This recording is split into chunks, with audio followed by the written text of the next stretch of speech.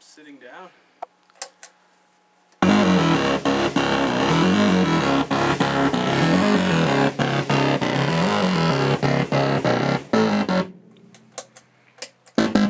Oh man, this is on the opposite side that I usually have